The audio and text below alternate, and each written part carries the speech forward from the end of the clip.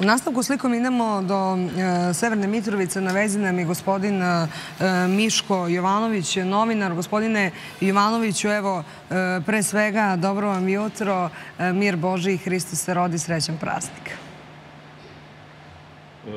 Dobro vam jutro iz Mitrovice. Pozdravljam vas raznim pozdravom. Hristos se rodi. Srećan Božić vama i svima koji slave. Ja moram da, da vam na početku kažem da ja slabo čujem i da samo predstavljam ovaj, šta, šta govorite i šta ste me pitali, ali nadam da bar vi mene čujete. Gospodine Ivanoviću, nažalost, ja nisam imala prilike e, da vas e, da čujem ono e, što ste mi u ovom trenutku rekli, ali svakako srećan vam praznik i evo da vidimo da li kako se obeležava, kako je prošao jučerašnji, jučerašnji dan i da li je sve spremno za današnji veliki praznik. Evo, ponavljam da sam vas jako slabo čuo, ali u svakom slučaju ste dugujem vama i vašim gledacima da je sve to od određenog momenta do 18 časova i nešto na severu Kosova i Metohije, ali drugde u srpskim sredinama u pokrajini na trenutak sve izgledalo na izgled mirno i vratila se ta nekakva svečarska atmosfera podrazumevana za badnji dan, nalagao se badnjak, vladika Teodosije Raško-Prizanski je nalagao badnjak u Zubinom potoku sa vernim narodom. U Kosovskoj Mitrovici je bilo takođe veoma svečano, sve do momenta dok do nas nije došla informacija o događaju u selu Gotovuša. E, dakle, e, informacija da je e, dejstvom samo nekog teroriste, dvoje srpskih dečaka,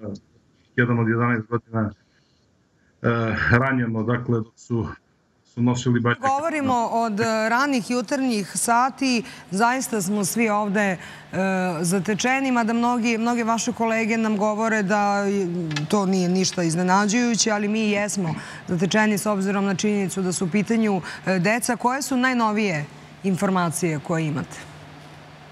Pa najnovije informacije su da su, Bogu hvala, ta deca zdravstveno stabilno, pan su životne opasnosti kako ste to i vi u informativnim emisijama već javili, ali znate kako, bila ovo jedna od najtežih noći za Srbe, ne samo Brezovici, ne samo, ne samo u Metohiji, gde imamo malo srpske povratnike, već u svim sredinama gde Srbi žive na Kosovo i Metohiji.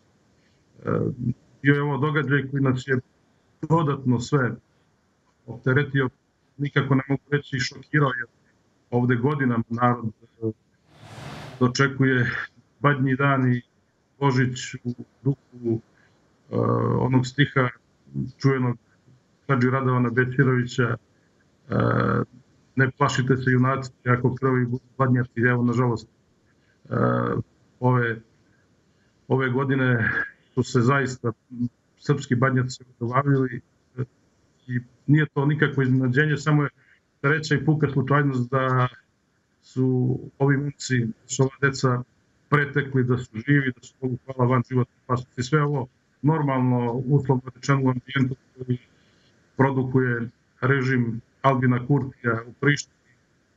Ovo je prosto ovaj, nešto što, što se moglo očekivati i zašto je najodgovorniji on i njegova politika uprkos tome što je deklarativno sinoć jeli osudio osudio ovaj konstantni pokušaj ubistva dvoje, dvoje srpske dečaka.